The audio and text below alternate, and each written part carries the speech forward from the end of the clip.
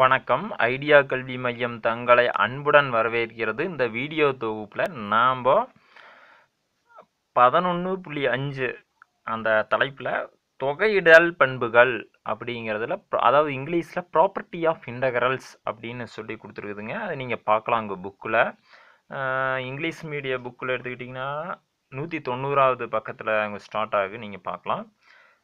சரி ஓகே. இதில் என்ன ப்ராப்பர்ட்டி அப்படின்னு பார்த்தீங்கன்னா ரெண்டே ரெண்டு ப்ராப்பர்ட்டி கொடுத்துருக்குறாங்க. இந்த ரெண்டையும் நீங்கள் இந்த எக்ஸசைஸை பொறுத்த வரைக்கும் பதினொன்று புள்ளி மூணு எக்ஸ் பயிற்சியை பொறுத்த வரைக்கும் ஞாபகம் வச்சுட்டிங்கன்னா போதுமானது. என்ன சொல்கிறாங்க அப்படின்னு பார்த்தீங்கன்னா கே என்பது ஒரு மாறிலியாக இருந்தால் அதாவது K into F of X ஒரு ஃபங்க்ஷன் கேவா கேங்கிற ஒரு கான்ஸ்டன்ட் இன்டூவாக மல்டிப்ளேஷனாக கொடுத்துருந்தா கேவை தூக்கி வெளியே வச்சுட்டு நீங்கள் எஃப் ஆஃப் எக்ஸை மட்டும் இன்டகிரல் பண்ணால் போதும் இப்படி எழுதிட்டு இன்டகிரல் பண்ணுங்க அப்படின்னு சொல்கிறாப்ல முதல் ப்ராப்பர்ட்டி ரெண்டாவது ப்ராப்பர்ட்டி என்ன சொல்லுதுன்னா ரெண்டு ஃபங்க்ஷன்ஸ் உதாரணத்துக்கு E power X G of எக்ஸுங்கிறது sine X cos X இது மாதிரி ஃபங்க்ஷன் அனதர் ஃபங்க்ஷன் இது மாதிரி கொடுத்துருந்தாலோ அல்லது இன்னொரு மூணு function H of X plus minus இன்னொரு ஹெச் ஆஃப் எக்ஸ்னு கொடுத்துருந்தாலோ இது மாதிரி தனித்தனியாக போட்டு நீங்கள் இன்டகிரல் பண்ணலாம். அப்படிங்கிறது தான் இந்த ரெண்டு ப்ராப்பர்ட்டியுமே இதை பேஸ் பண்ணி வரக்கூடிய சம்களை இங்கே பார்க்கலாம். இதுக்கு எது எதை நீங்கள் ஞாபகத்தில் வச்சுருக்கணும் அப்படின்னு பார்த்தீங்கன்னா நாம் ஆல்ரெடி எங்கள் புக்கில் நம்ம சம்ஸ் எல்லாம் பார்த்துட்டு வந்திருக்கிறோம். லெவன் பாயிண்ட் உங்களுக்கு page number English medium book எடுத்துட்டிங்கன்னா பக்க எண் நூற்றி எண்பத்தாறில் நூற்றி எண்பத்தாறில் அதாவது இப்போது ஃபஸ்ட் எடிஷனில் ஓகேங்களா இங்கே டெரிவேட்டிவ்ஸ் ஆன்டி டெரிவேட்டிவ்ஸ்னு கொடுத்துருக்குறேன் இதில் ஒரு பதினாலு ஃபார்முலாக்கள் கொடுத்துருக்குறாங்க. நூற்றி எண்பத்தாறு நூற்றி எண்பத்தேழு இங்கிலீஷ் மீடிய புக்லிங்க இந்த பாக்ஸ் போட்டு கொடுத்துருப்பாங்க தமிழ் மீடியத்துலையும் பார்க்கலாம். அதில் இந்த ஃபார்முலாக்கள் ஞாபகம் வச்சுருக்கணும். அதனால் நான் இது ஒரு டைம் ரீகால் பண்ணிட்டு சம்முக்கு போகலான்னு நினைக்கிறேன். சரி வாங்க. அப்படியே கவனிச்சிட்டு வாங்க. அப்போ தான் உங்களுக்கு புரியுங்க நான் சொல்கிறது சரி ஓகே இப்போ ஜீரோ அப்படிங்கிற ஒரு ஒன்றுமே இல்லாத ஒன்றை எக்ஸை பொறுத்து இன்டகிரேட் தொகையிடல் செஞ்சீங்கன்னா இன்டகிரேட்டிங் வித் ரெஸ்பெக்ட் டு எக்ஸை பொறுத்து ஒரு ஜீரோ அப்படிங்கிறத பண்ணிங்கன்னா சிங்கிற ஒரு கான்ஸ்டன்ட் கிடைக்கும் அப்படிங்கிறாங்க. அதாவது இன்டகிரேட்டிங் கான்ஸ்டன்ட் கிடைக்கும். தொகையீட்டு மாறிலி வரும் அப்படிங்கிறதுங்க. அதான் இந்த first antiderivative result okay அடுத்து கே உதாரணத்துக்கு கேங்கிறது ஒரு constant K is a constant C is also integrating கான்ஸ்டன்ட்டுங்க சிங்கிறது ஒரு மாறிலி தான். கேவும் ஒரு மாறிலி தான் அந்த இடத்துல. அதை கொடுக்கல. ஓகேங்களா? கே உதாரணத்துக்கு சிக்ஸு அப்படின்னு வச்சுக்கிட்டிங்கன்னா சிக்ஸ் இன்ட்டு டிஎக்ஸ்னு கொடுத்தா சிக்ஸுங்கிற கான்ஸ்டண்ட்டை வெளியே எடுத்து போட்டுக்கலாம். போட்டுட்டு நீங்கள் எக்ஸ் பவர் ஜீரோ அப்படின்னு வச்சுக்கோணுங்க இந்த இடத்துல. எக்ஸ் பவர் ஜீரோன்னு எடுத்துகிட்டு X power zero plus one by zero plus one இந்த ஃபார்முலா அப்ளை பண்ணுறோனுங்க இந்த இடத்த இதுக்கப்புறம் இதை கொடுத்துருந்தாங்கன்னா கரெக்டாக இருந்திருக்கும் சொல்கிறக்கு நீங்கள் ஞாபகம் வச்சுக்கிறக்கோசரம் கொடுத்துருக்குறாப்புல. மனப்பாடம் பண்ணுங்கன்னு. கேங்கிற கேங்கிற கான்ஸ்டன்ட் எக்ஸை பொறுத்து பண்ணிங்கன்னா கேஎக்ஸ் ப்ளஸ் சின்னு வரும்னு மக்கப் பண்ணுற சொல்லி தான் சொல்லியிருக்கிறாங்க. ஆக்சுவலாக புரிஞ்சு படிக்கணும்னா இந்த ஃபார்முலா மேலேயுமே இது கீழேயும் கொடுத்து எக்ஸ்பிளனேஷன் கொடுத்துருக்கலாம். எக்ஸ்பவர் ஜீரோ அப்படின்னு எடுத்துக்கு சரி okay integral x power into d x இதாங்க ஃபண்டமெண்டல் ஃபார்முலா மெமரி பண்ணுறோன்னு ஆல்ரெடி சொல்லியிருக்குது. ரெண்டு வீடியோ இதுக்கு முன்னாடி போட்டிருக்குதுங்க. புதுசாக நம்ம சேனலுக்கு வந்து தான் சப்ஸ்கிரைப் பண்ணிக்கிங்க. அதை சொல்ல மறந்துட்டேன். ஓகேங்களா ஓகே இந்த ஃபார்முலா எப்போ யூஸ் பண்ணுறீங்க எக்ஸ்பரண்ட் ஃபார்முலான்னா என் நாட் ஈக்குவல் டு ஒன்னாக இருந்தால் மட்டும்தான். அது தப்பாக சொல்கிற மாதிரிங்க N not equal to minus ஒன்னாக இருந்தால் மட்டும்தான் இந்த ஃபார்முலாவை அப்ளை பண்ணணும். மைனஸ் ஒன்னை தவிர மற்ற எல்லா இதுக்கும் அப்ளை பண்ணலாம். எக்ஸ் பவரில் நல்லா ஞாபகம் வச்சுங்க சரி ஒருவேளை மைனஸ் ஒன் வந்தால் என்ன பண்ணுறது அதுக்கு தான் இந்த ஃபார்முலா ஒன் பை எக்ஸை எக்ஸ் இன்வெர்ஸ்னு எழுதலாம். இப்போ என் வந்து இந்த இடத்துல மைனஸ் ஒன்று அப்போ நீங்கள் இந்த இந்த மேல் ஃபார்முலா அப்ளை பண்ண முடியாது அப்படின்னா என்ன பண்ணணும் இது ஒரு தனியாக ஞாபகம் வச்சுக்கோங்க. ஒன் பை எக்ஸு அதாவது கீழே டிஃப்ரென்ஷியேட் பண்ணி ஒன் பை எக்ஸ்னு வந்தால் log of modulus of x plus சின்னு போட்டுக்கலாம் அப்படின்னு ஞாபகம் வச்சுக்கோங்க.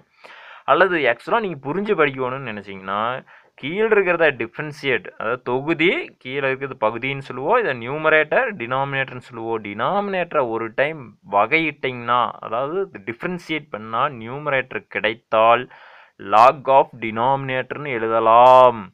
அப்படிங்கிற ஃபார்முலா அந்த அடிப்படையில் தான் நம்ம இதை எக்ஸ்ட்ரா எழுதியிருக்கிறாங்க. நீங்கள் சிம்பிளாக மனப்பாடம் பண்ணிக்கிங்க.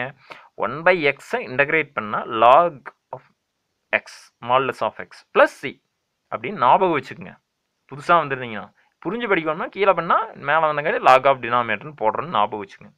சரி ஓகே சைனை இன்டகிரேட் பண்ணால் மைனஸ் காசெக்ஸ் கொஞ்சம் தெளிவாக ஞாபகம் வச்சுங்க டிஃப்ரென்சியேஷனையுமே இதே வச்சு குழப்பிக்கூடாது சைன் எக்ஸை இன்டகிரேட் பண்ணால் minus cos x cos x integrate பண்ணிங்கன்னா ப்ளஸ் சைன் எக்ஸ் இது தெளிவாக இருக்கணும். ரெண்டு ரேக்கெட் தனித்தனியாக போடுவோம் டிஃப்ரென்ஷியல் தனி இதுக்கு இன்டகிரல் தனி.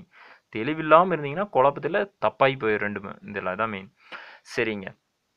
சீக்கன் ஸ்கொயர்டுமு டேனுமு சீக்கண்டு அதாவது சீக்கண்ட் ஸ்கொயர் சீக்கண்ட் எப்பவுமே ட்வின்ஸாக தான் இருப்பாங்க. சீக்கண்டுமு கொசிக்கண்டு கொஞ்சம் இதை கன்ஸ் நான் ஒரு ஐடியா கொடுக்குறேன். ஞாபகம் வச்சுங்க இந்த ஃபார்முலா எப்படி ஞாபகம் வைக்கிறதுன்னு. ஒரு நாலு ஃபார்முலாவுக்கு நான் சொல்கிற ஐடியா பெனிஃபிட்டாக இருக்குது சீக்கண்ட் ஸ்கொயர்டை எப்போவுமே ட்வின்ஸுங்க ஒன்றா தான் ஸ்கொயராக தான் வருவாங்க. அது கொசிக்கன் ஸ்கொயர் எக்ஸ்ன்னு தான் வருவாப்பில். இது ட்வின்ஸ்னு வச்சுக்கோங்க. சீக்கன் ஸ்கொயர்டு கொசிக்கன் ஸ்கொயர்டு சீக்கண்டோட ஃப்ரெண்டு டென்த்துலேருந்தே தொடர்ச்சியாக வந்துருப்பாப்ல யாருங்க? டேனு. டேனக்ஸ் ஓகேங்களா? என்ன சீக்கன் ஸ்கொயர்டை பண்ணிங்கன்னா அதனோட ஃப்ரெண்ட் ஆன்சராக வருவாப்பில் அதே மாதிரி கொசிக்கன் ஸ்கொயர்டு பண்ணிங்கன்னா கொசிக்கன் ஸ்கொயர்டு எக்ஸை பண்ணிங்கன்னா கொசிக்கன் ஸ்கொயர்டு ஒரு எதிர்மறையான எண்ணம் கொண்டவை. ட்வின்ஸ் தான். ஆனால் ஃப்ரெண்டு வந்து மைனஸ் காட்டெக்ஸாக தான் இருப்பாப்ல. ஓகேங்களா? மைனஸ் காட்டெக்ஸ் நெகட்டிவ் கதாபாத்திரம் மைனஸ் காட்டெக்ஸாக தான் இருக்கும் அப்படின்னு ஞாபகத்தில் வச்சுங்க அடுத்த ரெண்டு ஃபார்மாக யூஸ் ஆகுது. சீக்கண்டெக்ஸ் எப்பவுமே ட்வின்ஸுன்னு நம்ம ஆல்ரெடி பார்த்துருக்குறோம். ஃப்ரெண்டோட ஜோடி சேர்ந்து வந்துருக்குந்தா அப்படின்னா இதை இன்டகிரேட் பண்ணோம்னா ட்வின்ஸில் ஒரு ஆள் ஆன்சராக வருவாப்புல ப்ளஸ் நேர்மறை எண்ணங்களோட இருப்பாப்புல அதே கொசிக்கண்ட் எப்பவுமே ட்வின்ஸு இங்கே ஒரு ஆள் மட்டும் வந்திருக்கிறாப்புல ஃப்ரெண்டோட அப்படின்னா இதில் கொசிக்கண்ட் எப்பவுமே எதிர்மறை எண்ணம் கொண்டது தான் கொசிக்கண்டோ காட்டு ரெண்டு பேர் ஜோடி சேர்ந்தாங்கன்னாவோ இது எப்பவுமே நே எதிர்மறை தான் நெகட்டிவ் ட்வின்ஸில் ஒரு ஆள் இருப்பாப்ல அப்படின்னு ஞாபகம் வச்சுங்க இவங்க ரெண்டு பேர் இங்கே வந்துட்டாங்கன்னா வீட்டில் மைனஸு ப்ளஸ் கொசிக்கண்டு கூட வச்சுருப்பாப்ல மைனஸு அப்படி ஞாபகம் வச்சுக்குங்க அப்படின்னு சொல்ல வரேங்க. நான் ஒரு பைத்தியமாட்ட சொல்கிறேன்னு நினச்சிக்காதீங்க. இப்படி ஞாபகம் வச்சுக்குங்க. ஃபார்முலாவை மக்கப் பண்ணாதீங்க அப்படிங்கிறத ஒரு ஐடியா கொடுக்குறேன். சரி ஓகே இ பவர் எக்ஸை இன்டகிரேட் பண்ணிங்கன்னா இ பவர் எக்ஸே தான் வரும் இது வடிவேல் காமெடியாக எத்தனை அடித்தாலும் தாங்குறாங்கப்பா அப்படிங்கிறப்பல இது இ பவர் எக்ஸ் எத்தனை டைம் பண்ணிங்கன்னா அதே தான் வரும் டிஃப்ரென்சியேஷன் அதே தான் இன்டகிரேஷன் அதே தான். இந்த இ பவர் எக்ஸ்ன்னு ஞாபகம் வச்சுங்க கோஎஃபிஷியன்ட் ஒன்று இருக்கிறாப்புல. இதே சேம் இந்த இடத்துல பை லாக் பேஸ் இ அப்படின்னு இருக்குது. லாக் பேஸ் இ வேல்யூ ஒன்று அதை நமக்கு போடல. அதுக்கு தெளிவாக மைண்டில் மைண்ட் மேப்பில் கொஞ்சம் யோசிச்சு பாருங்கள் இ பவர் எக்ஸை இன்டகிரேட் பண்ணால் e power x by log base e வரும். அதே மாதிரி ஏ பவர் எக்ஸ் சேம் இதே மாதிரி பண்ணுங்க. ஏ பவர் எக்ஸ் பண்ணால் அதே வரும் by log a plus limit கொடுக்காதங்காட்டி plus C போடுறோம். இது எல்லாத்துலேயுமே ப்ளஸ் சி ப்ளஸ் சின்னு போட்டுருப்போம். என்ன காரணம்? இந்த லிமிட் கொடுக்கல அப்படின்னு ஆல்ரெடி சொல்லியிருக்கிறேன் அதே தான் ரிப்பீட் பண்ணுறேன் சரி அதுகள் பதிமூணாவது formula integral one by square root of one minus x square into டிஎக்ஸை பொறுத்து பண்ணிங்கன்னா ஒன் நல்லா நான் வச்சுங்க one by square root of one minus x square நிறையா வரும். நம்ம இந்த எக்ஸசைஸில் sine inverse of x plus c அதே இன்டகரல் ஒன் பை ரூட் இல்லாமல் ஒன் ப்ளஸ் எக்ஸ் ஸ்கொயர்னு வந்தால் tan inverse of x plus c அப்படிங்கிறத இந்த பதினாலு ஃபார்முலாக்களே புக் எடுத்து கொஞ்சம் கின்ஸ் வச்சு நான் சொல்கிறத வச்சு ஞாபகம் வச்சு மனப்பாடம் பண்ணி எழுதி பாருங்க. ஓகேங்களா அதை எழுதிட்டு நான் இதுக்கு முன்னாடி ரெண்டு வீடியோ போட்டுக்கிறேங்க இந்த எக்ஸசைஸ் எல்லாம். இதெல்லாம் நடத்தியிருக்கிறேன் அந்த ரெண்டு பார்ட்டையும் பாருங்கள் பார்த்துட்டு லெவன் பாயிண்ட் த்ரீ எக்ஸசைஸுக்கு வந்தீங்கன்னா இந்த ரெண்டு ப்ராப்பர்ட்டி அப்ளை பண்ணி சம்ஸ் போடுறது உங்களுக்கு ஈஸியாக புரியும். என்பதில் எந்த ஐயமும் இல்லை. சரி வாங்க நம்ம சம்முக்கு போகலாம் சரி கொஸ்டின் பின்வருவனவற்றை எக்ஸை பொறுத்து தொகையிடுக அப்படின்னு சொல்லி இது மாதிரி கொடுத்துருப்பாங்க. இது என்ன பண்ணணும் இது மாதிரி கொடுத்துட்டான் அப்படின்னு பார்த்தீங்கன்னா நாம் பண்ணுறது இன்டகிரேட்டிங் சாப்டர் அதாவது தொகையிடல் பண்ண சொல்லி கொடுத்துருந்தாங்கன்னா ஃபஸ்ட் நம்ம பேர் வைக்கணுங்க குழந்தைக்கு. ஓகேங்களா?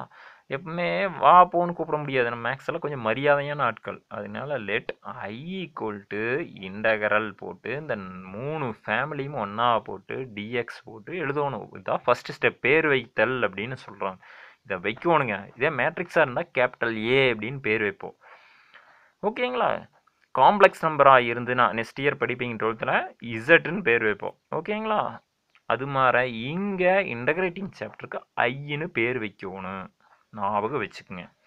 அடுத்தது நாம் இந்த ப்ராப்பர்ட்டி படி கான்ஸ்டண்ட்டு இது மாதிரி ஃபைவ் இந்த இடத்துல ஒன் ஒன் இருக்குது. இது மாதிரி இதையுமே இது மாதிரி ரெண்டு எல்லாம் ஒன்றா சேர்த்தி கொடுத்துருக்காங்க மூணு function f g of x f of x g of x h of x x f கொடுத்துருக்குறாங்க. இது எல்லாத்தையும் தூக்கி இந்த கரலையுமே டிஎக்ஸை இவங்க மூணு பேர்த்துக்கு பிரித்து கொடுக்கணும். அதாவது இப்படி. இதை ஒரு சம் எழுதி காமிக்கிறேங்க. என்ன பின்னாடி பார்ப்போம்.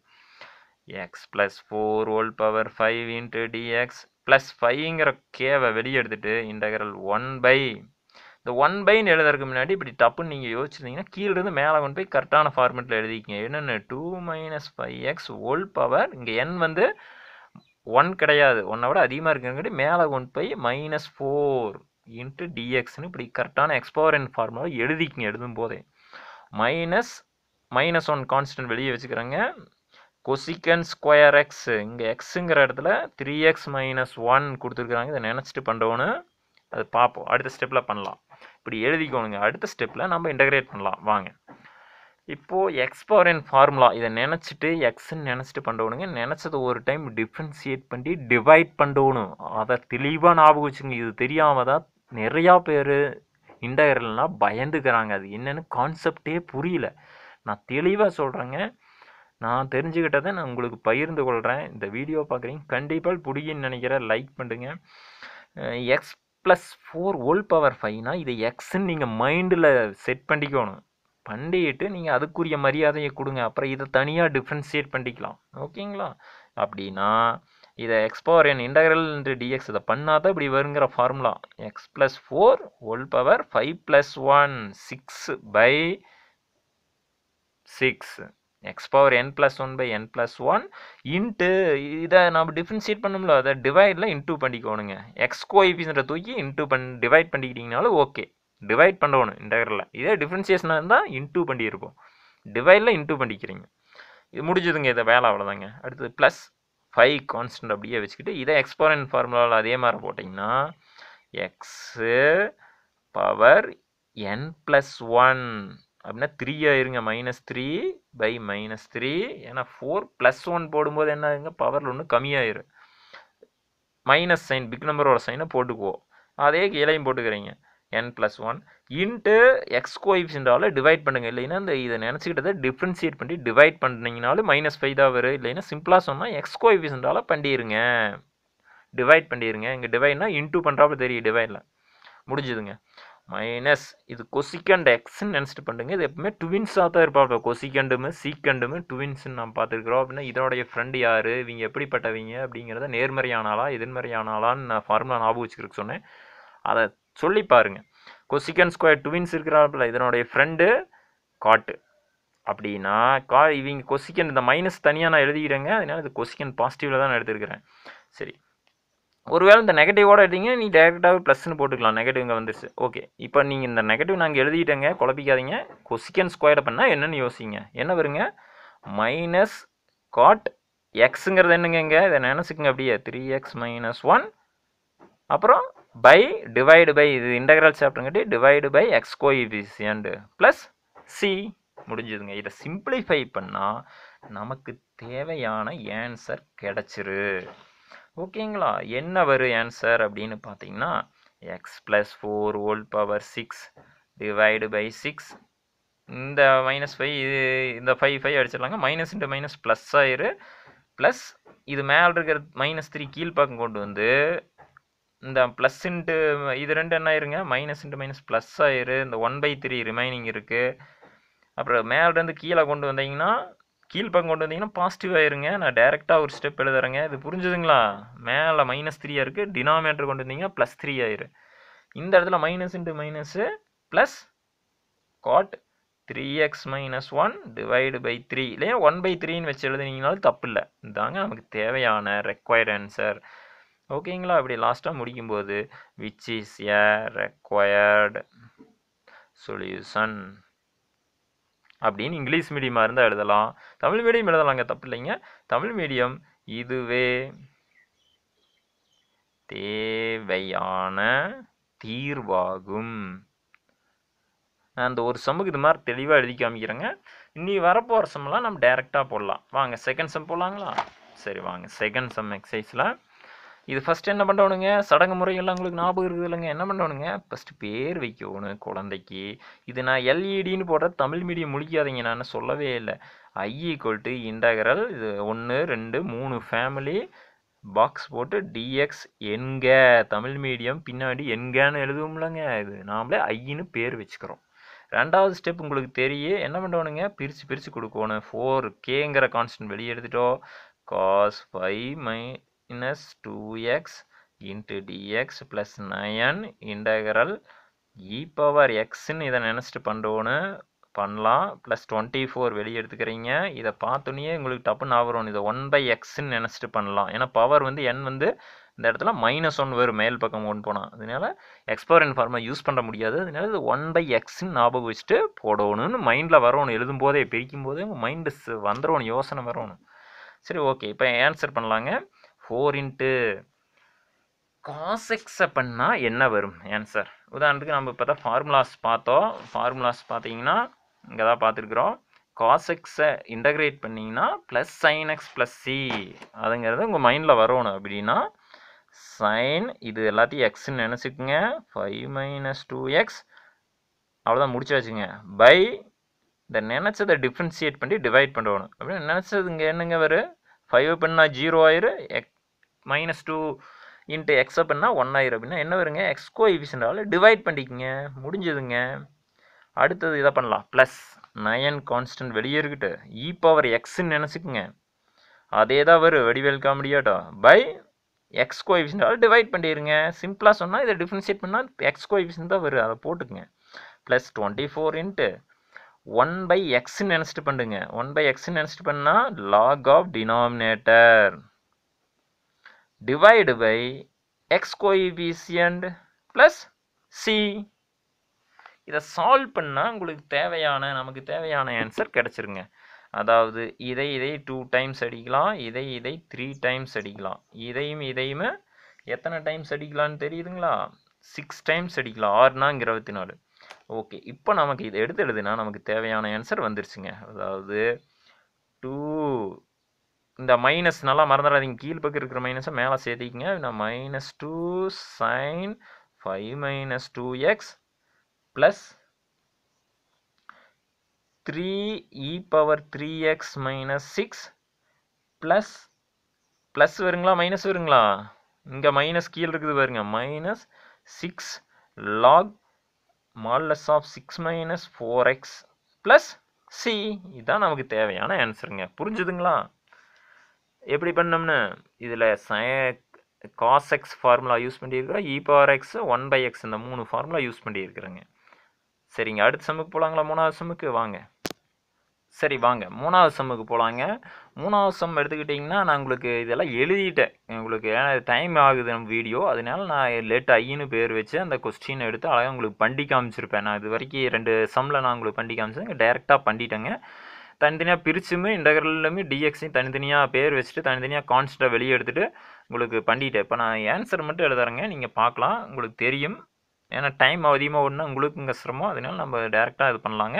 வாங்க. சீக்கன் ஸ்கொயர் எப்பவுமே ட்வின்ஸாக தான் வருவாப்பில். இங்கே இது சீக்கன் ஸ்கொயர் எக்ஸ் தான் நமக்கு தெரியும். Secant square x by five தெரியாதுங்க. X coefficient one by five இருக்குதுன்னு நல்லா நம்ம மைண்டில் வரணுங்க. சரி ஓகே சீக்கன் ஸ்கொயர் அக்செப்ட் பண்ணிங்கன்னா யார்? சீக்கன் ஸ்கொயர் ட்வின்ஸ் இதனோட ஃப்ரெண்டோட தான் இருப்பாப்ல. சீக்கன் ஸ்கொயரே இங்கே இருக்கும்போது கண்டிப்பாக ஃப்ரெண்டு தனியாக தான் இருப்பாப்ல வீட்டில் அப்படின்னு ஞாபகம் வச்சுங்க அப்படின்னா என்ன வருங்க? டேன் எக்ஸ் பை ஃபைவ் மறுபடியுமே இதை நினச்சிக்கிட்டு ஒரு டைம் எக்ஸ் பை ஃபைவ் பண்ணிங்கன்னா எக்ஸ் கோஎஃபிஷியன்ட் எவ்வளோங்க ஒன் பை ஃபைவால் டிவைட் பண்ணிடுங்க ப்ளஸ் எயிட்டீன் கான்ஸ்டன்ட் அதை அப்படியே வச்சுக்கிறீங்க. காஸ் எக்ஸ்ன்னு நினச்சிட்டு பண்ணுங்க. காஸ் எக்ஸ் அப்படின்னா என்ன வருங்க? நம்ம இப்போ தான் ஃபார்முலா லிஸ்ட்டில் பார்த்தோம். மறுபடியும் காமிக்கிறேன். இங்கே இருக்குதுங்க. காஸ் எக்ஸ் அப்படின்னா சைன் எக்ஸ் ப்ளஸ் சி அப்படின்னா இந்த காஸ் டூ எக்ஸ்ன்னு காஸ் எக்ஸ்ன்னு நினச்சிட்டு பண்ணுங்க இதை. அப்படின்னா சைன் டூ எக்ஸ் மறுபடியும் இதை நினச்சதை ஒரு டைம் பண்ணிங்கன்னா டிவைடு பை டூ இப்படி வருங்க. ஓகேங்களா சரி. அடுத்தது ப்ளஸ் டென் கான்ஸ்டன்ட் வெளியே வச்சுக்கிறீங்க. இதை பாருங்கள் சீக்கண்டு டேனு இது சீக்கண்டுமே ட்வின்ஸாக தான் இருப்பாங்க. ஒரு ஆள் மட்டும் இருக்கிறாப்புல ஃப்ரெண்டோட இருக்கிறாப்புல. அப்படின்னா யார் இருப்பா தனியாக வீட்டில் சீக்கண்ட் எக்ஸ் இருப்பாப்புல. அப்படின்னா சீக்கண்ட் இதை எடுத்து அப்படியே எழுதிருங்க. எக்ஸுங்கிறது இதை நினச்சிக்கோ நீங்கள் five x plus three divide by இந்த நினச்சிக்கிட்டதை எக்ஸுன்னு நினச்சிக்கிட்டதை ஒரு டைம் டிஃப்ரென்ஷியேட் பண்ணி டிவைட் பண்ணிக்கணும். அல்லது எக்ஸ் கோஎஃபிஷியன்டால் டிவைட் பண்ணிக்கிங்கன்னு சொல்லுங்கள் தப்பு இல்லை ஓகேங்களா? இப்போது இதை கேன்சல் பண்ணுறத பண்ணிடலாம். இதை எத்தனை டைம் அடிக்கலாங்க? நயன் டைம்ஸ் அடிக்கலாங்களா? நயன் டைம்ஸ் அடிக்கலாம். இதை டூ டைம்ஸ் அவ்வளோதாங்க இது ரெசிப்ரோக்கலாக இன்டூவாக வந்துடும் அப்படின்னா answer five ten x by five இது இப்படி ப்ராக்கெட் போட்டாலும் தப்பு இல்லைங்க. Plus nine into sine two x இதுக்கும் ப்ராக்கெட் போட்டால் தப்பு இல்லை. இப்படி எழுதினாலும் தப்பு இல்லை. டூ இன்ட்டு சீக்கண்ட் இது கம்பல்சரி ப்ராக்கெட் போடணுங்க இல்லை மீனிங் மாறிடும் இதுக்கு போட்டாலும் போடலாம் இது தனியாக தான் இருக்குது. இதுக்கு போடலின்னா மீனிங் மாறி போயிரு. ஓகேங்களா? மறக்காமல் லாஸ்ட்டில் ஐயின்னு இந்த பேர் வச்சதோட ஆன்சர் இது அப்படின்னு முடிச்சிடலாம். சொல்கிறது புரிஞ்சுதுங்களா? ஈஸியாக இருந்ததுங்களா? சரி அடிச்சம் போகலாங்களா வாங்க. அடிச்சம் கீழேயே இருக்குதுங்க. பார்க்கலாம். சரிங்க. அடுத்த சம்முக்கு எந்த ஃபார்முலானா அந்த லாஸ்ட்டாக ரெண்டு கொடுத்துருந்தாங்களேங்க. இன்டகரில் one by square root of one minus x square ரூட்டோட இருந்ததுன்னா sine inverse of x plus சின்னு வருங்க. அதே மாதிரி one by one plus x square இருந்ததுன்னா tan inverse of x plus c வரும். இந்த ரெண்டுமே கரெக்டாக எக்ஸ்ன்னு இருந்தால் எக்ஸ்னு போடணுங்க இல்லை வேறு இருந்ததுன்னா நினச்சிட்டு பண்ணுவோம் இந்த ரெண்டு ஃபார்முலாவை பேஸ் பண்ணி தான் அடுத்த சம் இருக்குதுங்க இந்த சம்மு பார்க்கலாங்களா? அங்கே பாருங்க ரூட்டு ஒன் மைனஸ் எக்ஸ்ன்னு நினச்சிக்கோணும் இதை. இது பார்த்தீங்கன்னா கொஸ்டினில் இது கரெக்டாக கொடுத்துட்டோம் இது இல்லை.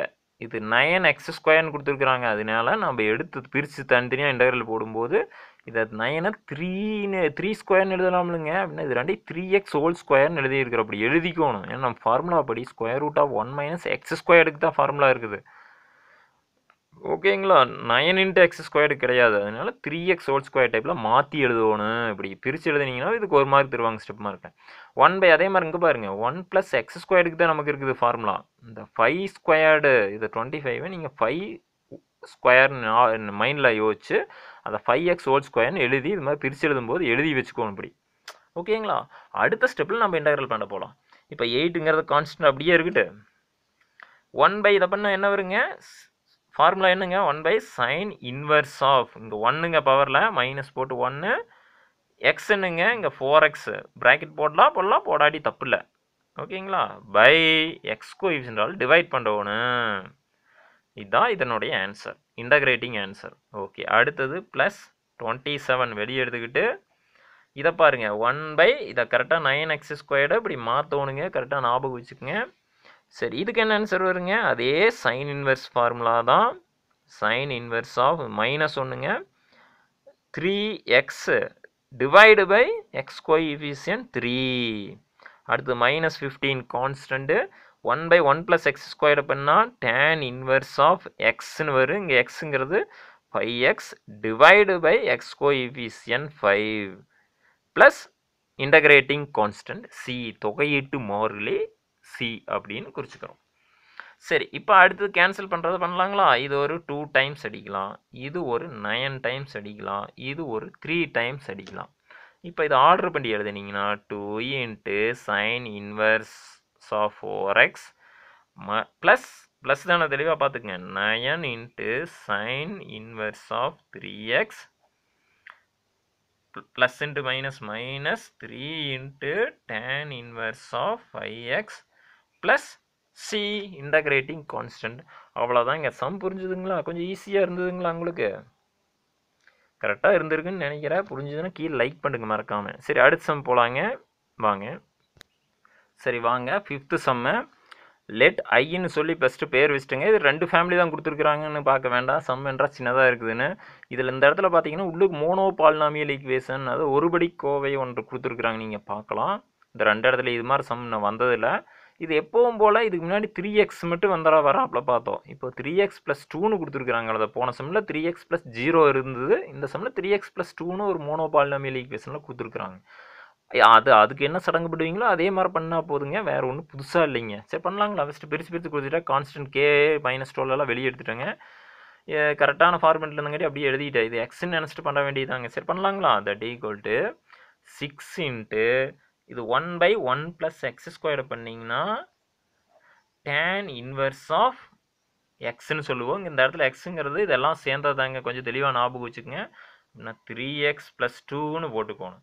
இந்த இடத்துல ப்ராக்கெட் போடலின்னா தப்பாகி போயிருங்க. Tan inverse three x plus தனியாக டூன்னு ஆகி போயிரு ப்ராக்கெட் முக்கியம். பை இதை நினச்சிக்கிட்டதை ஒரு டைம் டிஃப்ரென்சியேட் பண்ணி டிவைட் பண்ணிடுங்க அப்படின்னா என்ன வருங்க? எக்ஸ் கோஎஃபிஷியன்ட் தான் வரும். த்ரீ மைனஸ் டுவெல் அப்படியே வெளியே வச்சுக்கோங்க. இதுக்கு பாக்ஸ் போட்டுக்கங்க. ஏன்னா இதை தனியாக பண்ணுறோம் இன்டகிரேட்டிங் ஓகேங்களா இதை பண்ணால் என்ன வருங்க? ஒன் பை ஸ்கொயர் ரூட்டோடு இருக்குது. ஒன் மைனஸ் எக்ஸ் ஸ்கொயர்டு அப்படின்னா சைன் இன்வர்ஸ் ஆஃப் எக்ஸ் எக்ஸுங்கிறது இந்த த்ரீ மைனஸ் ஃபோர் எக்ஸ் நினச்சிக்கணும் த்ரீ மைனஸ் ஃபோர் எக்ஸ்ன்னு நினச்சிட்டு பண்ணால் ஓகே எக்ஸ்ன்னு நினச்சிட்டு வந்தேன் நினச்சதை ஒரு டைம் டிஃப்ரென்ஷியேட் பண்ணிங்கன்னா மைனஸ் ஃபோர் எக்ஸ் கோஎஃபிஷியன்டால் டிவைட் பண்ணிக்கணும். ப்ளஸ் சி இதை அடிக்கலாங்களா? இது ஒரு டூ டைம்ஸு இது ஒரு த்ரீ டைம்ஸ் ஓகே அடுத்த step minus into minus plus ஆயிரு. அப்படின்னா two tan inverse of three x plus two அடுத்தது minus into minus plus three sine inverse of three minus four x plus c இதுதாங்க நமக்கு தேவையான solution சொல்கிறது புரிஞ்சுதுங்களா? புரிஞ்சுதுன்னா like பண்ணுங்க நம்ம வீடியோவை. இது நான் ரொம்ப நாட்களுக்கு யூடியூப்பில் இருந்ததுன்னா பார்ப்பீங்கிறதுக்கோசரம் தான் நான் இது போட்டேன். ஏன்னா ஒவ்வொரு டைம் நம்ம நடத்திட்டு இருக்கிறது விதவிதமாக மாறுது. ஒவ்வொரு ஸ்கூலுக்கு மாறுதுங்க. நான் சொல்கிறது உங்களுக்கு புரியுன்னு நினைக்கிறேன். அந்த அடிப்படையில் தாங்க இந்த வீடியோ பதிவு பண்ணுறோம் சரி கொஞ்சம் பிடிச்சதுன்னா லைக் பண்ணுங்க. சரி okay that equal to one by three எல்லாம் எடுத்து எழுதிடுங்க. இது கரெக்டான ஃபார்முல் இருக்குதான்னு பார்த்துங்க இது மோனோ பாலினாமியல் ஈக்குவேஷன் நினச்சிட்டு பண்ணுறவனுங்க இது ஒன் பை இங்கே பவர் வந்து மைனஸ் ஒன் வருங்க. கீழே ப்ளஸ் ஒன் இருக்குது. மேலே பவர் வச்சுன்னா எக்ஸ் ஃபார்மாக யூஸ் பண்ண முடியாது அப்படின்னா ஒன் பை எக்ஸ்னு இதை நினச்சிட்டு பண்ணுறோணும் இதை e இ பவர் மூனோபால் பாலினாமியல் ஈக்குவேஷன் கொடுத்துருக்காங்க நினச்சிட்டு பண்ணிக்கலாங்க. சரி வாங்க. இது இண்டகரல் தனித்தனியாக பிரித்து கொடுத்துட்டு கான்ஸ்டை வெளியே எடுத்துட்டேன். சரி நம்ம இப்போ இண்டகரல் பண்ண போகலாம் ஒன் பை த்ரீ இன்ட்டு நம்ம ஆல்ரெடி சொன்னங்க. காஸ் எக்ஸ் பண்ணால் என்ன வருங்க ஃபார்முலா இப்போ தான் பார்த்தோம். காஸ் எக்ஸ் பண்ணால் சைன் எக்ஸு சைனை பண்ணால் மைனஸ் காசு இந்த ரெண்டுமே இங்கே யூஸ் பண்ணுறவோ கொஞ்சம் பாருங்கள் இமேல் வரும் சரி காஸ் எக்ஸ் அப்படின்னா சைன் எக்ஸு அப்படின்னா சைன் இது எக்ஸ்ன்னு நினச்சிட்டு அப்படியே எடுத்து எழுதிக்கங்க. மறுபடியும் இந்த நினச்சதை டிஃப்ரென்ஷியேட் பண்ணிங்கன்னா என்ன வருங்க? எக்ஸ் கோஎஃபிஷியன்ட் எவ்வளோங்க கரெக்டாக சொல்ல முடியுங்களா? ஒன் பை த்ரீ அதால் டிவைட் பண்ணிடுவோனும் அவ்வளோதாங்க முடிஞ்சது. அடுத்து ப்ளஸ் செவன் வெளியே வச்சுக்கிறீங்க. ஒன் பை எக்ஸ்ன்னு நினச்சிட்டு பண்ணுங்கள் ஒன் பை எக்ஸுக்கு என்ன ஃபார்முலாங்க log x log of denominator log of modulus of denominator நல்லா ஞாபகம் வச்சுக்கோங்க. மறுபடியும் இதை நினச்சிக்கிறத ஒரு டைம் டிஃப்ரென்ஷியேட் பண்ணிங்கன்னா எக்ஸ்ன்னு நினச்சிட்டு லா ஒன் பை எக்ஸ்ன்னு தானே சொன்னோம். அப்படின்னா லாக் எக்ஸ் மாதிரி இந்த நினச்சது ஒரு டைம் டிஃப்ரென்ஷியேட் பண்ணிங்கன்னா எக்ஸ் கோவிஷன்றால டிவைட் பண்ணிக்கங்க. ப்ளஸ் இதுக்கு வாங்க. E இ பவர் எக்ஸ்ன்னு நினச்சிக்கங்க. இ e பவர் எக்ஸை பண்ணால் அதே தான் வரும். இங்கே இ e நினச்சிட்டு பண்ணுறங்காட்டி அந்த நினச்சது ஒரு டைம் டிஃப்ரென்ஷியேட் பண்ணி டிவைட் பண்ணுவோம் அப்படின்னா நினச்சது இ பவர் எக்ஸ் பண்ணால் அதே தான் வரும். மறுபடியும் இந்த நினச்சது ஒரு டைம் டிஃப்ரென்ஷியேட் பண்ணிங்கன்னா எக்ஸ் கோவிஷன்றால டிவைட் பண்ணுறோணும் ப்ளஸ் சி சரி இதை ஆர்டர் பண்ணி எழுதுனீங்கன்னா வேலை முடிஞ்சுங்க. இது அடிபட்டுரு இது ரெண்டு அடிபட்டுரு. இது ரெசிப்ரோக்கல் ஆகி அப்படியே இன்டூவாக மாறிடு ஓகேங்களா சரி போடலாம். Answer எழுதிடலாங்களா? That equal to sin of x by 3 minus 4 plus log of modulus of x 7x plus 9 plus இது ரெசிப்ரோக்கலான five into e power x by five plus three plus integrating constant c இதுதான் நமக்கு தேவையான ஐயினுடைய தீர்வு அப்படின்னு முடிச்சிடலாங்க. சொல்கிறது புரிஞ்சுதுங்களா? சரி இப்போ நம்ம எக்ஸைஸ் சம்மெல்லாம் முடிச்சிட்டோம். அடுத்தது எக்ஸாம்பிளில் இருக்கக்கூடிய சம்ஸை பார்க்கலாங்க. போகலாங்களா வாங்க. சரி வாங்க. எக்ஸைஸில் எக்ஸாம்பிளில் லெவன் பாயிண்ட் எயிட்டில் first Jammu integrating the following with respect to எக்ஸ்ன்னு கொடுத்துருப்பாங்க. எக்ஸை பொறுத்து தொகையிடுக அப்படின்னு சொல்லி கொடுத்துருப்பாங்க புக்கில் அதை லெட் ஐ ஈக்குவல் டு அப்படின்னு பேர் வச்சுக்கிறீங்க முதல்ல. இது நம்ம சடங்கு முறைகளில் இது முக்கியமானது. ஓகேங்களா இது என்னங்கய்யா சடங்கு நல்லா சொல்கிறீங்க அப்படின்னு எல்லாம் எதிர்பார்க்க வேண்டாம். அது பண்ணணும் அப்படின்னு ஞாபகம் வச்சுக்கோங்க. Integral x power four into டிஎக்ஸ்னு கான்ஸ்டண்ட்டை வெளியே எடுத்து எழுதலாம். இப்போ நம்ம எக்ஸ் பவர் என் ஃபார்முலாவை யூஸ் பண்ணலாம். எக்ஸ் பவர் என் ஃபார்முலா என்ன சொல்லுது? X power n plus one by n plus x power n plus one by n plus one plus c that equal to 5 into x power 5 by 5 plus c 5 5 அடிச்சிட்டிங்கன்னா x power 5 plus cன்னு உங்களுக்கு answer வந்துடும் இதுதான் required solution ஓகேங்களா? சரி அடுத்த some பார்க்கலாங்களா? இதில் ஃபார்முலாக்கள் என்னென்ன யூஸ் பண்ணுறோம் அப்படிங்கிறத நான் சைடில் சொல்லியிருப்பேன். X power n n not equal to minus ஒன்றுங்க அந்த இடத்துல ஏன்னா டூ வந்துருக்குது. எக்ஸ் பவர் எக்ஸ் ஸ்கொயர் தான் கொடுத்துருக்குறோம். டூ வந்தங்காட்டி இந்த ஃபார்முலா அப்ளை பண்ணுறோம் அப்புறம் ஒன் பை எக்ஸ் செவனை வெளியே எடுத்துக்கிட்டு ஒன் பை எக்ஸ்னு பார்க்கணுங்க. அப்போ ஒன் பை ரூட் எக்ஸ் இந்த டூ வெளியே எடுத்துகிட்டு ஒன் பை ரூட் எக்ஸ்னு பார்க்கணும். டூ ரூட் எக்ஸ்னு வருங்க. இது டேரெக்டாக ஞாபகம் வச்சுங்க. புக்கில் கொடுக்கல. இது கொஞ்சம் நினைவில் வச்சுக்கோங்க. அதே மாதிரி கே பாருங்க. இந்த இந்த இடத்துல ஒரு மிஸ்டேக் பண்ணிட்டேன். கே இன்ட்டு டிஎக்ஸ்னால் கேஎக்ஸ் ப்ளஸ் சின்னு வருங்க. ஓகேங்களா அதாவது இதுக்கு. இந்த ஃபோர் வெளியே போயிடுச்சுன்னா ஃபோருங்கிறது ஒரு கான்ஸ்டன்ட் அதை பண்ணிங்கன்னா ஃபோர் எக்ஸ்னு வருணுங்கிறத சொல்லியிருக்கிறேன். சரி வாங்க. நம்ம இப்போ என்ன பண்ணுவோங்க தனித்தனியாக பிரித்து ஆர்டர் பண்ணி அந்த ஃபார்மேட்டில் ப்ராப்பர்ட்டி அப்ளை பண்ணுறோன்னு minus four integral one into டிஎக்ஸ்னு எழுதிக்கலாம். ப்ளஸ் செவனை வெளியே எடுத்துகிட்டு ஒன் பை எக்ஸ்னு எழுதலாம். ப்ளஸ் டூவை வெளியே எடுத்துகிட்டு integral one by root x into டிஎக்ஸ்னு எழுதலாம். எழுதியிருக்கிறேன். இப்போ இதுக்கு ஃபார்முலா அப்ளை பண்ணுங்க. Five into x cube by x power n plus one by n plus one into by ஒன்று இருக்குங்க. இந்த இடத்துல இன்ட்டு பண்ணுவோம் அது போட வேண்டியதில்லை. சரி minus four x power zero இந்த இடத்துல எக்ஸ் பவர் ஜீரோன்னு ஞாபகம் வச்சிட்டிங்கன்னா x power zero plus one by zero plus one என்ன வந்துருங்க? எக்ஸ்னு ஆயிரும். பை எக்ஸ் கோஎஃபிஷன் ஒன்று ஓகே அடுத்தது இந்த செவன் அப்படியே வச்சுக்கிறீங்க. ஒன் பை எக்ஸை பண்ணிங்கன்னா log of denominator by one plus two into one by root எக்ஸை பண்ணிங்கன்னா two root x plus c இப்போ இதை ஆர்டர் பண்ணி எழுதிட்டிங்கன்னா நமக்கு தேவையான ஆன்சர் உங்களுக்கு கிடச்சிருங்க. என்ன வருங்க? Five by three x cube minus four x plus seven log modulus of x plus four root x plus c இதுதான் நமக்கு தேவையான சொல்யூஷனுங்க சரிங்க. அடுத்து மூணாவது சம் எடுத்துக்கிட்டிங்கன்னா இதில் நான் ஒரே லேட் ஐன்னு பேர் மட்டும் எங்கேன்னு வச்சுருக்கிறேன். இதை நான் டேரெக்டாகவே போடுறேன். உங்களுக்கு திறமை இருந்ததுன்னா நான் பண்ணுறாப்ப பண்டிப்பாருங்க ஃபஸ்ட் நான் பிரித்து கொடுக்கணுங்க. அதை பண்ணிடுவோனே நான் அதுக்கு மார்க் இருக்குது. ப்ராப்பர்ட்டி அப்ளை பண்ணி காட்டணும். நீங்கள் நெக்ஸ்ட்டு டுவெல்த்து போனீங்கன்னா அது டேரெக்டாக போடலாம். அங்கே மார்க் இல்லை உங்களுக்கு. ஓகேங்களா? இது எழுதும் போதே உங்களுக்கு அந்தந்த ஃபார்முலா மைண்டில் வரணும். மைண்டு மேப்பில் தானாக உதைக்கணும். இதுக்கு என்ன ஃபார்முலா இது டுவின்ஸ் ஃபார்முலா ப்ளஸ் இது ஒரு twins formula cosecant squared x கொடுத்துட்டாங்க அப்படின்னு மைண்டு நினைவுகளில் அப்படியே வரணும் எழுத எழுதவே உங்களுக்கு. சரி வாங்க. இப்போ ஃபார்முலாவுக்கு போகலாங்களா சரி இப்போ டூ கான்ஸ்டன்ட் அப்படியே வச்சுக்கிறீங்க. காஸ் எக்ஸ் அப்படின்னா என்ன? சைன் எக்ஸ் அப்படின்னா என்னன்னு தெளிவாக வச்சுருக்கணும். காஸ் ஆல்ரெடி வந்திருக்குதுங்க. ஓகேங்களா? இன்டகிரேஷனில் சைன் அப்படின்னா மைனஸ் காசும் காஸ் அப்படின்னா ப்ளஸ் சைன் எக்ஸ் வரும் அப்படின்னா இங்கே காஸ் எக்ஸ்னு கொடுத்துட்டாங்க. எக்ஸ் கோஎஃபிஷியன்ட் ஒன்று தாங்க அப்படின்னா ப்ளஸ் சைன் எக்ஸ் தான் வருங்க. பை எக்ஸ் கோஎஃபிஷியன்டால் டிவைட் பண்ணிக்கிற ஒன்று மைனஸ் ஃபோர் வெளியே வச்சுக்கிறோங்க. சைன் எக்ஸ் அப்படின்னா minus cos x by one வருங்க. இங்கே எக்ஸ் கோஎஃபிஷியன்ட் வந்து ஒன்று நம்ம போட மாட்டோம்.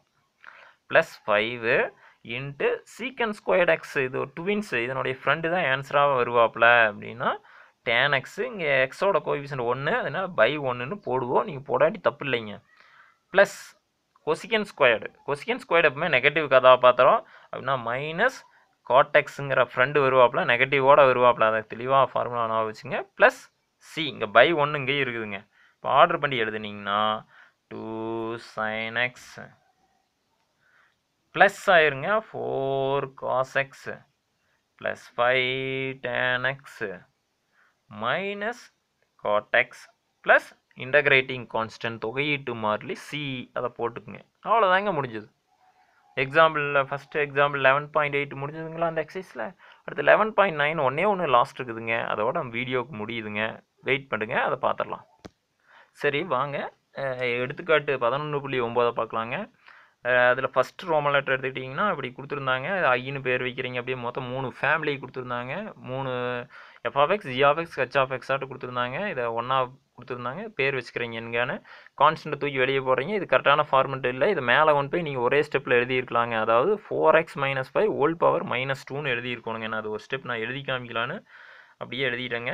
இப்போ இது மாதிரி நீங்கள் எழுதணும். Four x minus five whole power minus two எனக்கு இது என் வந்து நாட் ஈக்குவல் டு மைனஸ் சொன்னதுன்னா எக்ஸ் பவர் என் ஃபார்முலா போடலாம் அப்படின்னு உங்கள் மைண்டில் வரணுங்க plus six into integral one by three x plus two into dx இது ரெண்டே ஒன்றா பார்க்கணும். இங்கே பவர் ஒன்றில் இருக்குது அப்படின்னா one by x formula use பண்ணுறோன்னு மைண்டில் வரணுங்க plus integral e power x ஃபார்முலாவை யூஸ் பண்ணிவிட்டு இதை ஒரு டைம் டிஃப்ரென்ஷியேட் பண்ணி டிவைட் பண்ணுறோன்னு ஞாபகம் வரணும். சரி இப்போ பண்ணலாங்களா? Two into twelve into twelve into இது எக்ஸ் பவர் என் ஃபார்முலா போட்டிங்கன்னா எக்ஸ் பவர் என்னன்னு நினச்சிட்டு பண்ணுறீங்க இங்கே எக்ஸ் பவர் என் ப்ளஸ் ஒன்னுன்னு போட்டிங்கன்னா உங்களுக்கு என்ன ஆயிருங்க? சொல்ல முடியுங்களா? என்ன வருங்க? எக்ஸ் பவர் மைனஸ் டூ கொடுத்துருக்குதுங்க. மைனஸ் டூனா இது ப்ளஸ் ஒன் போட்டிங்கன்னா என்ன இது plus one by minus two plus one plus one போட்டிங்கன்னா என்ன பிக் நம்பரோட sign minus one divide by minus one x power n plus one by n plus one முடிச்சிட்டேங்க. அடுத்து இந்த நினச்சது ஒரு டைம் டிஃப்ரென்ஷியேட் பண்ணிங்கன்னா எக்ஸ் கோஎஃபிஷியன்டால் டிவைட் பண்ணுறோம் இன்ட்டு டிவைடு பை ஃபோர் முடிச்சாச்சுங்க. அடுத்தது plus six into one by எக்ஸை பண்ணிங்கன்னா லாக் ஆஃப் டினாமினேட்டர் மறுபடியும் என்ன பண்ணுவானுங்க? அந்த நினச்சிக்கிட்டது ஒரு டைம் டிஃப்ரென்ஷியேட் பண்ணி டிவைட் பண்ணுவோம் அதாவது எக்ஸ் கோஎஃபிஷியன்டால் டிவைட் பண்ணுவோம் ஓகே அடுத்தது plus sixteen e into e power x நினச்சிட்டு பண்ணிங்கன்னா ஃபோர் எக்ஸ் ப்ளஸ் த்ரீ அப்படியே வருங்க. Divide by four plus c இப்போ இதில் தான் அடிக்க முடிஞ்சுன்னா அடிச்சிருங்க. இதை ஃபோரால் அதை அடிக்கலாம். த்ரீ டைம்ஸு இதை டூ டைம்ஸ் அடிக்கலாம்.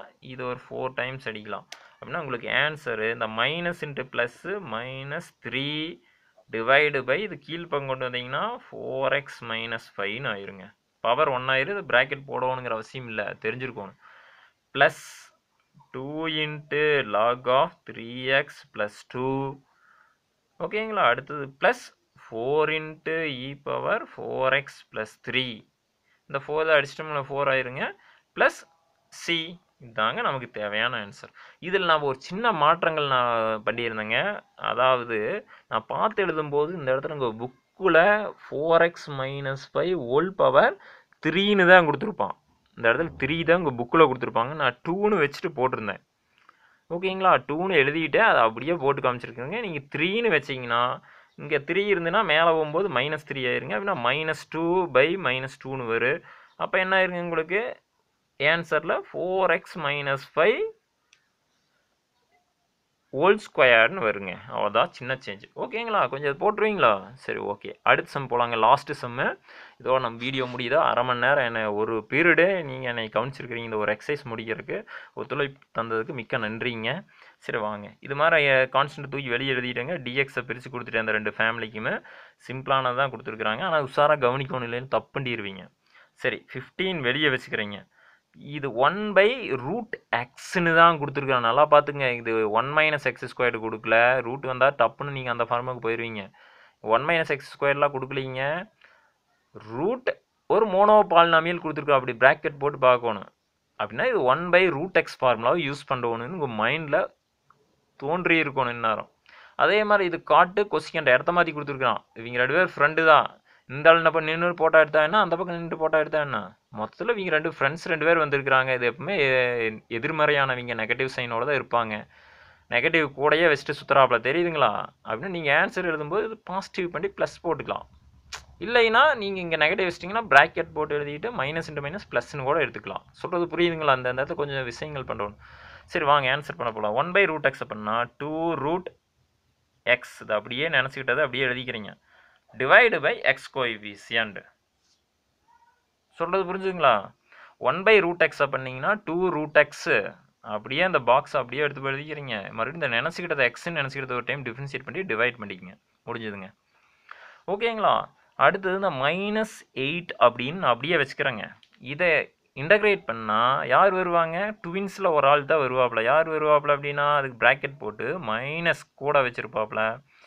ஒசிக்கண்ட் எக்ஸுங்கிறது இது அப்படியே நினச்சிட்டு பண்ணுங்க ஓகேங்களா? கொசிக்கண்ட் இது அப்படியே எடுத்து எழுதிக்கலாங்க. மைனஸோடு இருப்பாப்ல. இன்ஸில் ஒரு ஆள் அப்படியே வந்துருவாப்ல. டிவைடு பை இங்கே நினச்சிக்கிட்டதில் ஃபோர் எக்ஸ் ப்ளஸ் டூவை டிஃப்ரென்ஷியேட் பண்ணிங்கன்னா ஃபோர் வருங்க. அதாவது டிவைட் பண்ணிக்கங்க. ப்ளஸ் சி இதை ஆர்டர் பண்ணி எழுதுனா முடிஞ்சுங்க அடிக்கிறத அடிச்சுட்டு கேன்சல் ஆச்சுன்னா அடிச்சுட்டு ஆர்டர் பண்ணி எழுதிடுங்க. முடிஞ்சுதுங்க. அப்படின்னா இதை இதே அடிச்சிங்கன்னா த்ரீ டைம்ஸு இதை இதே அடிச்சிங்கன்னா டூ டைம்ஸ் அப்படின்னா உங்களுக்கு answer I equal to three into two six root five x minus four minus into minus plus two cosecant x. இந்த இடத்துல ஃபோர் எக்ஸ் ப்ளஸ் டூன்னு கொடுத்துருக்குறாங்க. ப்ளஸ் இன்டகிரேட்டிங் கான்ஸ்டன்ட் அப்படின்னு போட்டிங்கன்னா நமக்கு தேவையான ஆன்சர் கிடச்சிருங்க. இப்போ நான் பண்ண மெத்தேடுகள் உங்களுக்கு புரிஞ்சிருந்ததுன்னா நீங்கள் எத்தனை சம் கொடுத்தாலும் இந்த மாதிரி நினச்சிட்டு பண்ணுற சம் ஆகட்டும் நீங்கள் போட்டு முடிச்சிருவீங்க. இதில் என்னென்ன ஃபார்முலாக்கள் மெயினாக வந்தது அப்படின்னு ஒரு டைம் சொன்னோம்னா எக்ஸ் பவர் என் ஃபார்முலா தெரிஞ்சிருக்கணுங்க. ஒன்று ரெண்டாவது எக்ஸ் பவர் என் ஃபார்முலா எப்போ யூஸ் பண்ணணும் அப்படி யூஸ் பண்ண முடியாத இடத்துல எந்த ஃபார்முலா யூஸ் பண்ணுவோன்னு தெளிவாக ஞாபகத்தில் வச்சுருக்கணும். உதாரணத்துக்கு எக்ஸ் பவர் என் ஃபார்முலாவை n not equal to minus ஒன்னாக இருந்தால் மட்டும்தான் யூஸ் பண்ணுறோன்னு அப்படி மைனஸ் ஒன் வந்ததுன்னா ஒன் பை எக்ஸ்ன்னு நினச்சிட்டு ஒன் பை எக்ஸை பண்ணிங்கன்னா லாக் ஆஃப் டினாமினேட்டர் வரும் அப்படிங்கிறத ஞாபகத்தில் வச்சுருக்கணும்.